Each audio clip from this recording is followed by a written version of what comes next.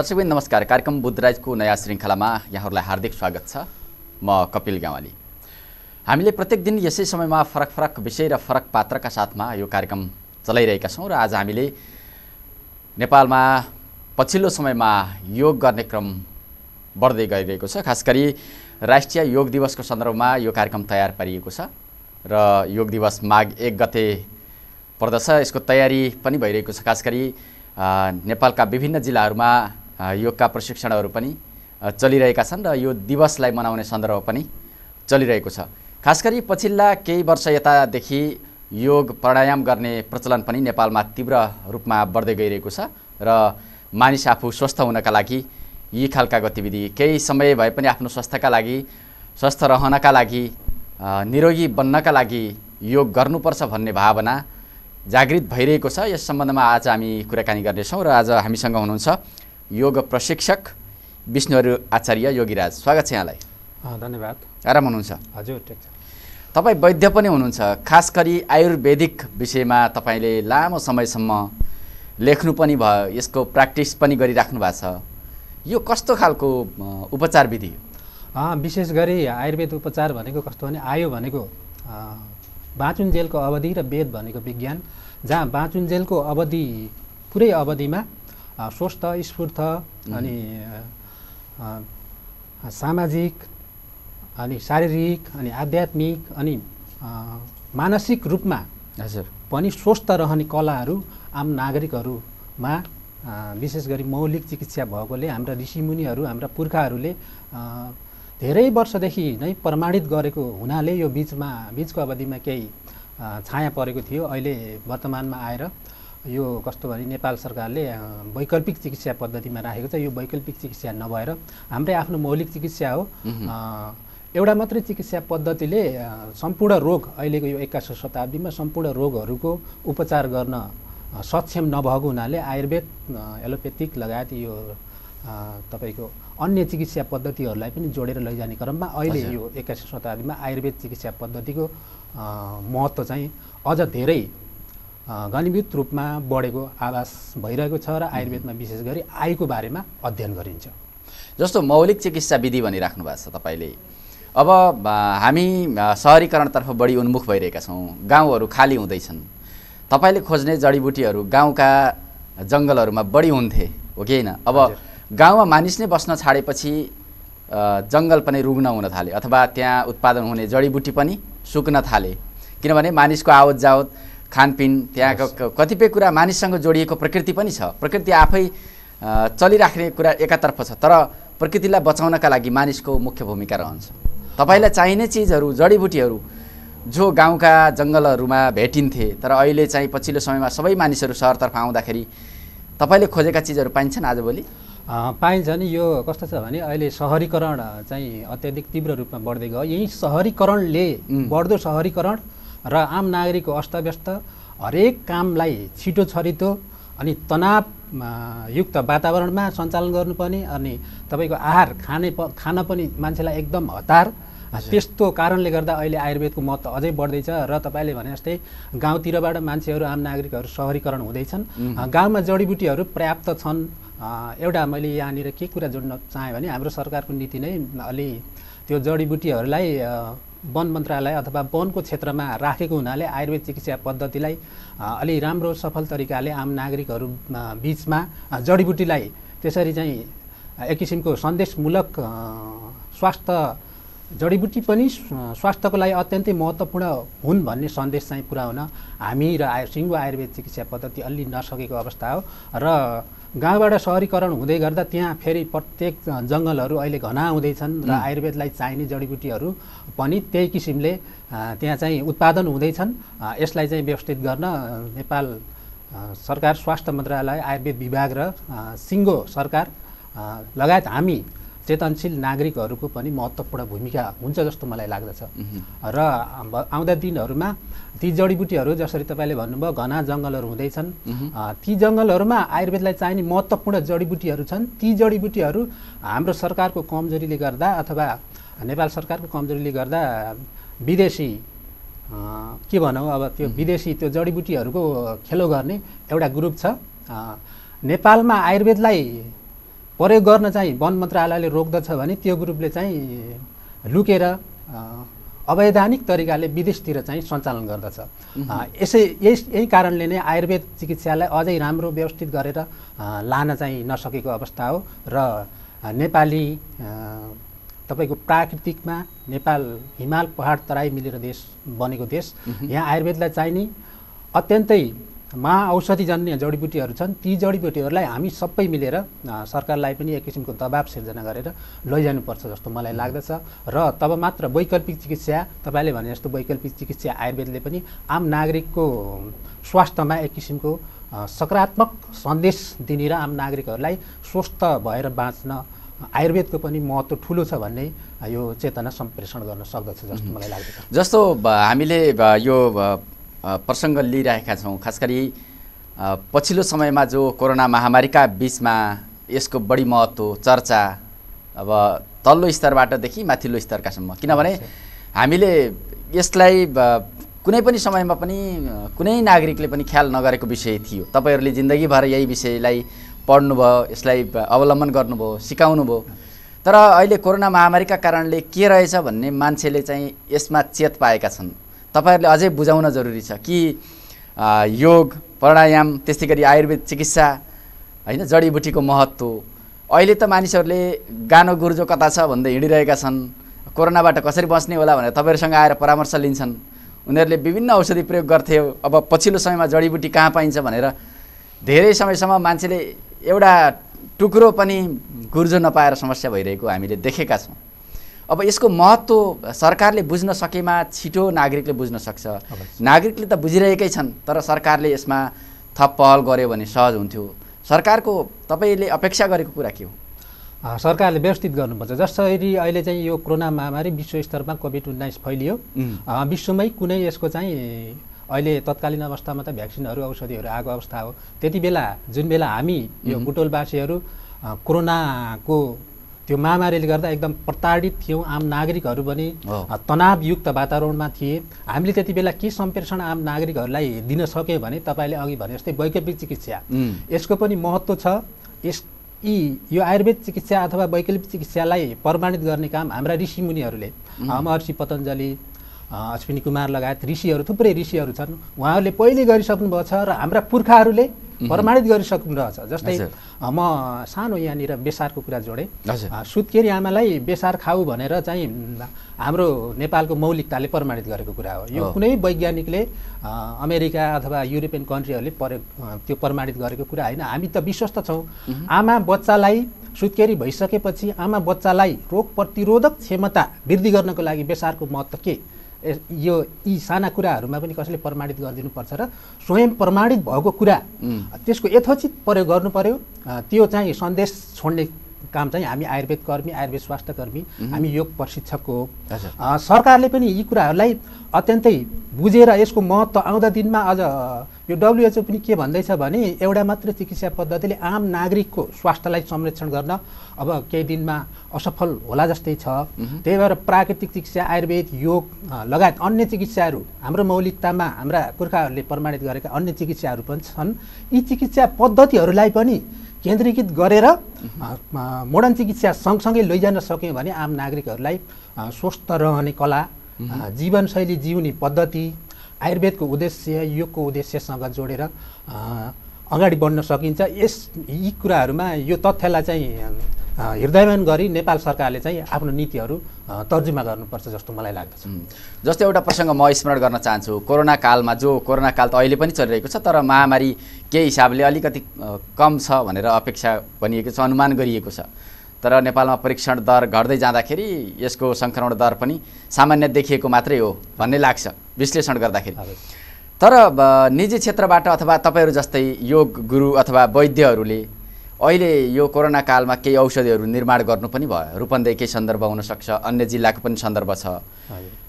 यसले कोरोना निको पार्छ अथवा कोरोना लाग्नबाट यसले बचाउँछ भनेर यस्ता खालका औषधहरू निर्माण गर्ने जो कोही वैद्य हुनसक्छ अथवा तपाईँले भनेको भने जस्तै वैकल्पिक चिकित्सक हुनसक्छ चिकित्सा क्षेत्र हुनसक्छ। सरकारले उहाँहरूलाई सम्मान त गरेन तर उहाँहरूले बनाएको औषधिलाई पनि नबेच भनेर कारवाही गर्यो भन्ने हामीले खबर हामीले नै पढ्यौँ। यस्तो किन भइरहेको छ?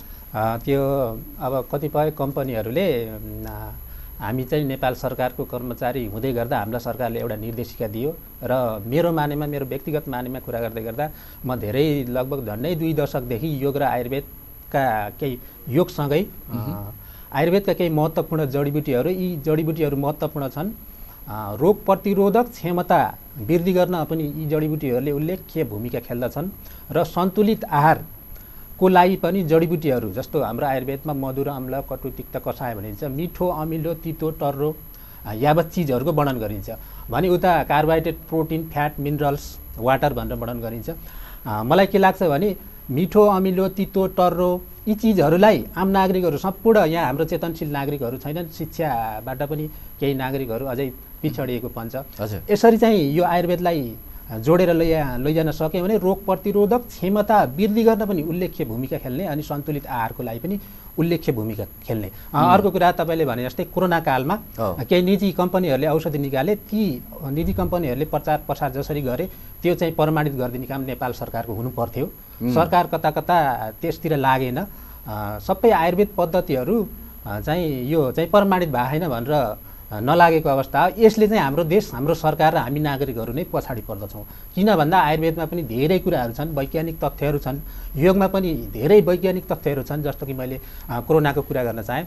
आम नागरिकहरू जसरी रूपन्देहीमा यो धेरै ठाउँ बोर्डर भएको हुनाले विदेशबाट आउने आम नागरिकहरू कोरोना कालमा हामी हामीसम्म एक किसिमको तनाव मनमा बेखुसीका लहरहरू सिर्जना भए अनिद्रा भयो उच्च रक्तचाप भयो क्वारेन्टाइन अथवा त्यो लकडाउनमा बस्दाखेरि आम नागरिकहरूलाई ठुलो तनाव भयो नि त छटपट्टि भयो नि त आम नागरिकहरूलाई। त्यति बेला हामीले के सम्प्रेषण छोड्न सक्यौँ भने सरकारको माध्यमबाट अथवा मेरो व्यक्तिगत माध्यमबाट म एउटा सामाजिक अभियन्ता भएको हुनाले हामीले छोडेको अभियानले योग गरौँ आफ्नै मौलिक संस्कृति कला संस्कृति भजन कीर्तनमा नाचौँ। यी कुराहरू सामान्य कुराहरू मात्रै दिँदा पनि आम नागरिकहरूको मनोबल बढ्यो बढ्यो। साथसाथै तपाईँले भने जस्तै अघि गुर्जोको कुरा गर्नुभयो गुर्जो अश्वगन्धा। हाम्रै स्थानीय ठाउँमा पाइने जडीबुटीहरू अँचुरो बासा अनि तपाईँको लगायत सामान्य च्यावनप्रास यी चिजहरू खाँदा पनि रोग प्रतिरोधक क्षमता बढेर रोगसँग लड्ने केही शक्ति चाहिँ हामीले आर्जन गर्न सक्छौँ सँगसँगै योग प्राणायामलाई जोड्न सक्यो भने मनमा आएका बेखुसीका तरङ्गहरूलाई हटाउन सक्छौँ जस्तै मनको कुरा गर्दा योगले के भन्छ भने योगस्य चित्तवृत्ति निरोध भनेर महर्षि पतञ्जलले योगको परिभाषा गर्नुहुन्छ। चित्तमा आएका वृत्तिहरू अथवा अनावश्यक सोचाइहरूलाई निराकरण गर्नु नै योग हो। त्यसै गरी मनका चाहिँ पाँचवटा अवस्था छन् क्षिप्त मूड विक्षिप्त निरुद्ध एवं एकाग्र। अहिले कोरोना कालमा हाम्रो मन कस्तो भयो भने क्षिप्त मूड विक्षिप्त। एकदम मुडी घरभित्र थुनिनु परेको छ बच्चाहरूलाई पनि स्कुल जानु छैन। बुढाबुढीहरूलाई पनि फ्रेस हुनु छैन एकदम मुडी अनि चिया चिया भएको मन होइन? अनि विक्षिप्त भएको मन के गरौँ के गरौँ डिप्रेसन अथवा यो मानसिक तनावमा थुप्रै नागरिकहरू गए त्यो अवस्थामा हामीले ती तिनवटा अवस्थालाई मध्यनजर गर्दै निरुद्ध एवं एकाग्र। एकाग्र। मन्त्रयोगको माध्यमबाट क्वारेन्टाइनमा र आइसोलेसनमा बसेका आम नागरिकहरूलाई हामी सुरुमा पुग्यौँ त्यहाँ मन्त्रयोग। केही मन्त्रहरू भन्यौँ जसले चाहिँ एकाग्र यो योग विज्ञानले प्रमाणित गरेको कुरा हो। यो फेरि व्यावहारिक रूपमै अभ्यास गर्दाखेरि आम नागरिकहरूले प्रत्यक्ष यसको फाइदा बेफाइदा बुझ्न सक्छन्। एकाग्र त्यसरी सृजना गऱ्यौँ। अनि तपाईँको यो मनोबल वृद्धि गर्नलाई प्राणायाम तपाईँले अघि भन्दै हुनुहुन्थ्यो। यो अक्सिजन नै महत्त्वपूर्ण चिज हो। योगले प्राणायामले विशेष गरी के भन्छ भने हामी यहाँ कोठाभित्र बसेका छौँ एउटा सानो आम नागरिकहरूको सचेतनामूलक कार्यक्रम गर्दै गर्दा यहाँ हामीलाई कतैबाट अक्सिजन आउन ठाउँ भएन भने हामी चाहिँ स्वयं रोगी हुन सक्छौँ। योगले के भन्छ भने अहिले अघि हजुरले भने जस्तै सहरीकरणमा। धुलो धुवाँ आम नागरिकहरू काममा छिटो छरितो अनि चिन्तित। अनि आहार शैली पनि त्यस्तै छिटो छरितो जङ्क फुडको प्रयोग। यस्ता चिजहरूलाई चाहिँ व्यवस्थित गर्नलाई योग विज्ञानले के भन्छ भने बिहानको समयमा आफ्नो दैनिक नित्यकर्म गरिसकेपछि खुला ठाउँमा बसौँ। अनि केही गर्न सकिन्न भने हामीले कोरोना कालमा आम नागरिकहरूलाई सानो प्याकेज दियौँ त्यही प्याकेज। एकछिन चाहिँ एउटा मन्त्र भनौँ एकाग्रताको लागि। अनि केही छिन नाचौँ। हाम्रो संस्कृतिमा हाम्रा लोकगीतहरू छन् हाम्रा दोहोरीहरू छन् अनि हाम्रो भजन कीर्तनहरू छन्। थुप्रै हाम्रो नेपाल विश्वमा यस्तो देश हो कला संस्कृतिले भरिपूर्ण। सँगसँगै आयुर्वेद र योग प्राकृतिकले हामीलाई दिएको अवस्था। यी सामान्य कुराहरूलाई एकछिन नाचौँ मन्त्र भनौँ एकछिन नाचौँ। अनि बसेर लामो श्वास लिने छोड्ने। मोडर्न चिकित्साले पनि त भन्छ। तपाईँ स्वयंलाई थाहा छ। जब जब मुटु अथवा छातीमा अप्ठ्यारोपन सिर्जना हुन्छ लामो श्वास लिनु छोड्नुहोस्। त्यसले अक्सिजनले के गर्छ त रगतमा कम भएको त्यो प्राणायामले रगतमा कम भएको अक्सिजनलाई छिट्टै रगतमा पुर्याउन महत्त्वपूर्ण भूमिका खेल्दछ। यसरी हामीले आम नागरिकको कोरोना कालमा चाहिँ सामान्य कुराहरूलाई जोड्दै आम नागरिकहरूलाई थाहा भएका कुराहरू पनि हामी हामीले चेतना जगाउन नसकेको कारणले र सरकारले महत्त्वपूर्ण भूमिका खेल्न नसकेको कारणले पछाडि परेको विधालाई चाहिँ कोरोना कालमा हामीले चाहिँ आम नागरिकमा योगमा पनि केही छ आयुर्वेदमा पनि केही छ हाम्रो मौलिकतामा केही छ हाम्रो कला संस्कृतिमा केही छ भनेर सम्प्रेषण दिन सक्यौँ। जसले गर्दा मैले अघि भने जस्तै ती तनावयुक्त आम नागरिकहरू मनमा आएका बेखुसीका लहरहरूलाई त्यो थेग्न नसकेका आम नागरिकहरूमा एक किसिमको मनोबल उच्च पार्ने आत्मबल बढाउने र शरीर र आत्मसँगै मनलाई पनि केन्द्रीकृत गर्ने एक किसिमको योग विज्ञानको कला र आयुर्वेदको हाम्रा पुर्खाहरूले प्रमाणित गरेको त्यो सम्प्रेषण चाहिँ आम नागरिकहरूलाई दिन सक्यौँ जसले गर्दा कोरोना सन्चो हुनभन्दा पनि कोरोना न्यूनीकरण गर्न र व्यवस्थापन गर्नलाई अत्यन्तै महत्त्वपूर्ण भूमिका हामीले खेल्न सक्यौँ जस्तो मलाई लाग्दछ। जस्तो अब तपाईँले कोरोना कालमा जो खालको सङ्क्रमण भएका जो मानिसहरूलाई पनि तपाईँले उहाँहरूको अलिकति भए पनि उत्साह बढाउनका लागि मनोबल बढाउनका लागि तपाईँ क्वारेन्टाइनमै पुगेर धेरै समयसम्म लामो समयसम्म तपाईँ आफै पनि नाच्नुभयो सबैलाई नचाउनु पनि भयो योग पनि सिकाउनु भयो। हामीले समाचार माध्यमबाट समाचार पनि पढेका छौँ सञ्चार माध्यम मार्फत। अवश्य अनि अब त्यो क्रममा तपाईँ आफै पनि कोरोना पोजिटिभ हुन पुग्नुभयो। अब तपाईँको क्वारेन्टाइन बसाइ तपाईँले कसरी सङ्क्रमण भयो त्यो विषयलाई पनि र कसरी जित्नुभयो त्यो विषयलाई पनि छटकरीमा बताइदिनु अवश्य अवश्य म यो हाम्रो प्रदेश सरकार सामाजिक मन्त्रालयको निर्देशिकालाई लिएर मेरो अफिस लगायत मेरो व्यक्तिगत आफै समन्वयमा पनि म रूपन्देहीका धेरै ठाउँमा जहाँ क्वारेन्टाइनहरू थिए त्यहाँ पुगेँ। आम नागरिकलाई तपाईँले भने जस्तो केही योगका कुरा केही प्राणायामका कुरा केही नाच्ने केही रमाउने नेपाली कला संस्कृतिलाई जोडेर त्यो ठाउँमा पुग्दै गर्दा अपरजट म पनि त्यो कोरोनाबाट अछुतो रहन सकिनँ। र मलाई एउटा म धेरै पहिलादेखि मनोबल उच्च राखेर जब जब नेपालमा कोरोना आयो चैतको तेस्रो हप्तादेखि फिल्डमा अफिसको माध्यमबाट र मेरो व्यक्तिगत माध्यमबाट मेरो अभियानको माध्यमबाट पुग्ने क्रममा मसँग एउटा उच्च मनोबल थियो।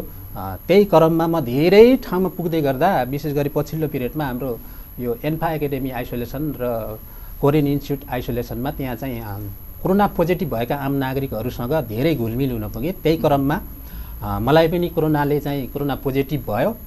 एक दिन त मलाई केही मनमा चाहिँ केही आशङ्काहरू केही बेखुसीका लहरहरू आए र त्यसलाई म कसरी कन्ट्रोल गरेँ भने म पनि अब त्यहीँ एन्फामै जानुपर्छ। म पहिला बाहिरबाट योग सिकाउँथेँ बाहिरबाट नचाउँथेँ।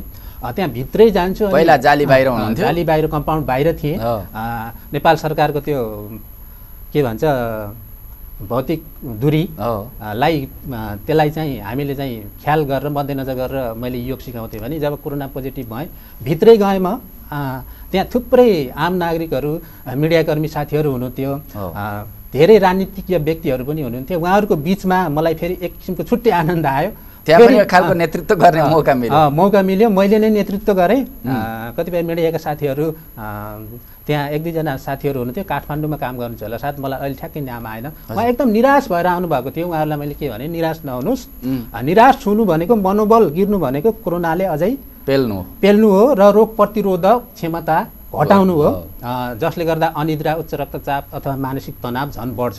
यस्तो भयो भने यहाँ व्यवस्थापन नगरेर सरकारले फेरि धागो कारखानातिर लयो भने। हामीलाई त्यहाँ त्यहाँ अत्यन्तै गाह्रो हुन्छ भन्ने सन्देश पनि दिन सक्यौँ र विभिन्न जडीबुटीहरूको बाफ लिनुहोस् आउनुहोस् हामीसँगै नाच्नुहोस् रमाउनुहोस् श्वास तान्ने छोड्ने सामान्य प्रक्रियाहरू गर्ने गर्नुहोस् भनेर हामीले त्यो सन्- सन्देश दिँदै गर्दा त्यहाँ भएको टिम सिङ्गो टिम स्वतः स्फूर्त खुसी साथ मनमा भएका ती निराशका पनहरूलाई हटाएर त्यसरी चाहिँ स्वयं टिमसँगै बसेर छिट्टै मलाई चाहिँ लगभग नौ दिनमा चाहिँ कोरोना जित्न सफल भए। कोरोना जितिसकेपछि पनि त्यहाँभित्र भएका साथीहरूले मलाई पाँच छ दिन आउन दिनु भएन। किन भन्दा मलाई पनि रमाइलो उहाँहरूलाई पनि रमाइलो रमाइलो सँगसँगै मनोबल बढाउन पनि उच्च टिममा चाहिँ उच्च महत्त्वपूर्ण भूमिका त्यहाँनिर सिर्जना भयो। यसरी मैले कोरोना जितेँ र एन्फामा लगभग अहिलेसम्म तिन सय छजना अनि तपाईँको कोरियन इन्स्टिच्युटमा लगभग लगभग एक सय पचासजना र हाम्रै आयुर्वेदमा आउने आम नागरिकहरू लगभग हामीले यो अहिले यो कोरोना पोजिटिभलाई मैले मेरो व्यक्तिगत कुरा गर्दा हजार बाह्र सय कोरोना पोजिटिभहरूलाई मनोपरामर्श दिन सकेँ र मेरो मनोबल पनि उहाँहरूको म उहाँहरूलाई मनोपरामर्श दिँदै गर्दा मेरो मनोबल पनि उच्च बनाउन सकेँ र रोग प्रतिरोधक क्षमता केही वृद्धि गर्न सकेँ। र शरीर आ योगको सिद्धान्त अनुसार शरीर आत्मा र शरीर र आत्मासँगै मनलाई चाहिँ केन्द्रीकृत गर्ने एक किसिमको यो वैज्ञानिक पाटोलाई आम नागरिकहरूसम्म पुर्याउन सकियो। जसले गर्दा योगमा पनि केही छ आयुर्वेदमा पनि केही छ भन्ने। सरकारलाई पनि केही सरकारले नस्वीकारे पनि आउँदा दिनहरूमा यसमा केही छ अब यसमा लाग्नुपर्छ यसको रिसर्च गर्नुपर्छ। योगको रिसर्च मैले ने नेपाल सरकार अथवा प्रदेश नम्बर पाँचबाट आज बुद्ध टेलिभिजनको माध्यमबाट के भन्न चाहन्छु भने अब सरकारले छिटोभन्दा छिटो योगमा रिसर्च गर्ने एउटा टिम खडा गरोस् र त्यसको चाहिँ रिजल्ट जस्तो हामीले अहिले कोरोना पिरियडमा गऱ्यौँ अब पनि म एक एउटा अभियानकर्ता भएकोले म विभिन्न स्थानीय तहमा समन्वय गर्दछु। त्यहाँ पनि योगाहरू हुन्छन् प्राणायामहरू हुन्छन्। सरकारलाई म के आग्रह गर्छु भने योगको रिसर्च गरेर यसको अरूले गर्दैला भन्ने होइन हामी आफै गरौँ। यसको रिस यसको रिसर्च गरेर आम नागरिकहरूमा त्यो योगबाट आम नागरिकहरूले पाएको स्वस्थ हुनलाई चाहेको अथवा पाउने त्यो प्रतिफल चाहिँ आम नागरिकहरूमा चाहिँ सम्प्रेषण गर्न म नेपाल सरकार अथवा प्रदेश सरकारलाई पनि आग्रह गर्दछु। जस्तो हामी अब योग दिवसको सन्दर्भमा यो कुरा गरिरहेका छौँ हामी आयुर्वेद पनि जोडिरहेका छौँ। योगाभ्यास त तपाईँले गराइराख्नु भएको छ लामो समयदेखि। अब कोभिड नाइन्टिन अहिले पनि चलिरहेकै छ। कतिपय आम नागरिकहरूले हामीलाई हेर्दै हुनुहुन्छ जो कुनै न कुनै खालको समस्यामा पनि हुनुहुन्छ होला। हजुर। उहाँहरूले त्यो समस्याबाट मुक्ति हुनका लागि कसरी योग गर्ने? आफ्नै घरमा बसेर पनि अब तपाईँले मासमा सिकाउनुहुन्छ। उहाँले मासमा जाने समय हुँदैन होला। घरमै समय व्यवस्थापन गर्नेहरूले कसरी योग गर्न सक्छ? सर्वप्रथम त म यो बुद्ध टेलिभिजन र सम्पूर्ण युनिट लगायत आम नागरिकहरूमा यो राष्ट्रिय योग दिवस दुई हजार सतहत्तरको हार्दिक मङ्गलमय शुभकामना व्यक्त गर्न चाहन्छु र आम नागरिकहरूमा योग गर्नुहोस् सामान्य थोरै समयलाई व्यवस्थित गर्नुहोस् र योगलाई जोड्नुहोस् जसले पनि के मात्रैलाई न्यूनीकरण गर्न सक्छ भने जसरी तपाईँ हामी पहिला कुरा गर्दा नसर्ने रोग न्यूनीकरणमा योगको महत्त्वपूर्ण भूमिका भनेर हामीले त्यसरी चाहिँ आम नागरिकहरूमा एक किसिमको सन्देश छोड्न सकेको थियौँ भने। अहिले त्यसमा के थपियो त भन्दा तपाईँले क्वेसन गर्नुभयो मलाई प्रश्न गर्नुभयो सामान्य प्रश्न आम नागरिकहरूलाई बुझ्न सजिलो होस्। सर्ने रोगहरूमा पनि त योगको महत्त्व त्यत्तिकै रहेछ आयुर्वेदको महत्त्व त्यत्तिकै रहेछ।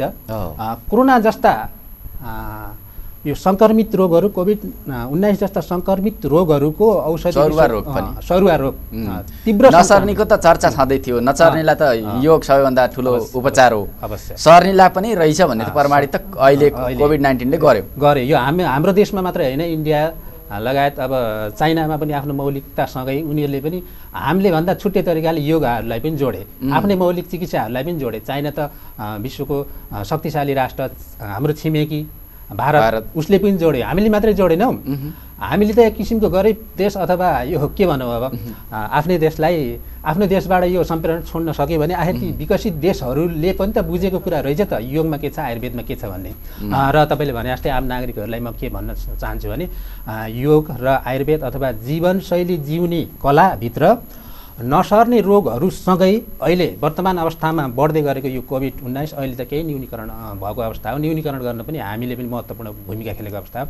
आम नागरिकहरूलाई सरकारको त्यो नियम कोरोना निर्देशिकाको नियम पालना गर्दै गर्दा घर अहिले जाडो भएको हुनाले विशेष गरी बिहान साँझ जो आम नागरिकहरू मर्निङ वाक गर्नुहुन्थ्यो अथवा एक्सर्साइज गर्नु त्यो पनि रोकेको अवस्था हो। धेरै जाडोमा बाहिर निस्किन अ, मैले अघि भने जस्तै आफ्नो घरको झ्याल ढोकाहरू खोलेर एकछिन थोरै बेर बिहान उठेर आफ्नो दैनिक नित्य काम क्रियाहरू गरिसकेपछि एकछिन नाचौँ अरू केही सकिन्न भने एकछिन नाचौँ। हजुर। नाच्दाखेरि शरीरका बाह्य शरीरदेखि आन्तरिक शरीर र हाम्रो यो नर्भ सिस्टमहरू स्नायु प्रणालीमा पुरै सकारात्मक ऊर्जा उत्पन्न हुन्छ।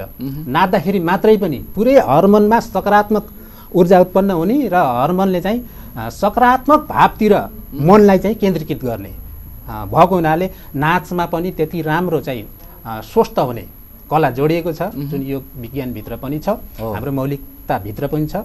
र नाचिसकेपछि थोरै बसेर केही मन्त्रहरू हामी नेपाली आफ्ना कला संस्कृति अथवा धर्म धर्म संस्कृतिसित जोडिएका वैदिक क्षेत्रसँग जोडिएका हुन्छौँ। सबैको आफ्नो मन्त्र छ। एउटा मात्रै मन्त्र भनौँ अनि लामो श्वास लिने छोड्ने लामो श्वास लिने छोड्ने। पन्ध्र मिनट मात्रै यी क्रियाहरूलाई जोडौँ। सकिन्छ भने सूर्य नमस्कार प्रज्ञा योग जस्ता क्रियात्मक अभ्यासहरूलाई जोडौँ। यति मात्रै गर्न सक्यो भने नसर्ने रोग न्यूनीकरण गर्न जस्तो कि शारीरिक निष्क्रियताको कारणले तिसदेखि चालिस पर्सेन्ट नसर्ने रोगहरूको अहिले बढ्दो अवस्था हो। त्यसै गरी शारीरिक निष्क्रियता र मनमा आएका बेखुसीका पनहरूले गर्दा रोग प्रतिरोधक क्षमता घट्ने अवस्था हो। कोरोना जस्ता महामारीले हामीलाई दिएको शिक्षा।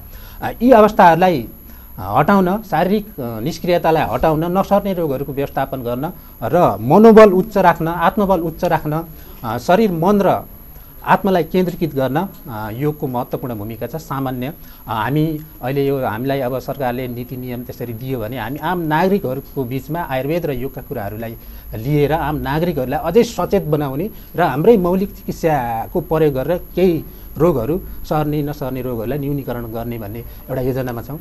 त्यसको लागि अब सरकारले हामीलाई नीति नियम बनाएर दियो भने हामी आम नागरिकको बिचमा पनि पुग्न सक्दछौँ र आयुर्वेद चिकित्साभित्र जनशक्ति थोरै भएको हुनाले र हामी स्वयं स्वास्थ्यकर्मीहरूले पनि आम नागरिकहरूलाई केही कुरा बुझाउन नसकेको अवस्थाले हामी हल्का पछाडि छौँ। त्यो अवस्था पनि अबका आउँदा दिनहरूमा हामीले रहन दिन्छैनौँ। आम नागरिकहरूलाई स्वस्थ रहन स्फूर्त रहन नसर्ने रोग न्यूनीकरण गर्न भविष्यमा आउँदै गरेका यस्ता विपद कोरोना जस्ता विपद जन्य रोगहरूलाई न्यूनीकरण गर्न योगको महत्त्व आयुर्वेदको महत्त्व प्राकृतिक चिकित्साको महत्त्व हाम्रो कला संस्कृतिको महत्त्व त्यत्तिकै छ। यसलाई पनि नछोडौँ यसलाई पनि जोड्दै गरौँ भन्ने सन्देश दिन चाहन्छु। हामी एकदमै अन्त्यमा छौँ। अन्त्यमा एक मिनट मात्रै तपाईँलाई समय दिन्छु। अब हाम्रा दर्शकहरूले हेरिराख्नु भएको छ। तपाईँबाट केही अपेक्षा पनि छ होला उहाँहरूले। हेरिराख्नु भएको छ। अब घरमा रहेर स्वस्थ ढङ्गले बस्नका लागि अथवा आफ्नो जीवनलाई थप ऊर्जाशील बनाउनका लागि कसरी अगाडि बढ्नुपर्छ? के सन्देश छ? अहिले यो विशेष गरी हामीले यो प्रदेश लुम्बिनी प्रदेशको राजधानी बुटोलबाट यो कार्यक्रम गर्दै गर्दा बुद्ध टेलिभिजनको माध्यमबाट म आम नागरिकहरूलाई के सन्देश दिन चाहन्छु भने जसरी तपाईँले आयुर्वेद के हो भनेर सोध्नुभयो आयुर्वेदमा जीवन जिउने कला छ। हामी सहरमा बसिरहेछौँ हामीलाई जति बेला पनि हतार छिटो अनि जङ्क फुडको प्रयोग यस्तो छ। यो टाइम व्यवस्थित गर्न नसकेको कारणले हो हामीले सबभन्दा महत्त्वपूर्ण समय आफ्नो स्वास्थ्यको लागि दिउँ तपाईँले अघि भने जस्तै आहारमा महत्त्वपूर्ण समय दिउँ आहारलाई व्यवस्थित गरौँ जङ्क फुडतिर नजाउँ। यो पत्रु खाना भन्छ अहिले हामी सबै छिटो चाहिने अनि मिठो चाहिने। छिटो र मिठोको पछाडि छौँ। आफूले घरमै बनाएका खानाहरूमा पनि त्यो ती ती स्वादहरूसँग पनि जोडिने गरौँ र योगलाई जोडौँ प्राणायामलाई जोडौँ। हाम्रो मौलिकतालाई जोडौँ। यी कुराहरूलाई जोड्दै आम नागरिकलाई राष्ट्रिय योग दिवस दुई हजार सतहत्तरले योग र आयुर्वेदप्रति डोराउनलाई केही हदसम्म भए पनि महत्त्वपूर्ण भूमिका खेल्नेछ भन्ने आशा व्यक्त गर्दै यहाँ र यहाँको बुद्ध टेलिभिजन युनिट र प्राविधिक भाइलाई पनि विशेष धन्यवाद दिँदै म बिदा हुन चाहन्छु। हस्त नमस्कार। हस् धेरै धेरै धन्यवाद छ समय र सम्वादकाले यहाँलाई। दर्शकहरू आज हामीले कुराकानी गऱ्यौँ। योग प्रशिक्षक तथा वैद्य पनि हुनुहुन्छ उहाँ विष्णुहरि आचार्य योगीराज। आजका लागि समय सकिएको छ। कपिल गेवाललाई पनि आगे दिनुहोस्। नमस्ते।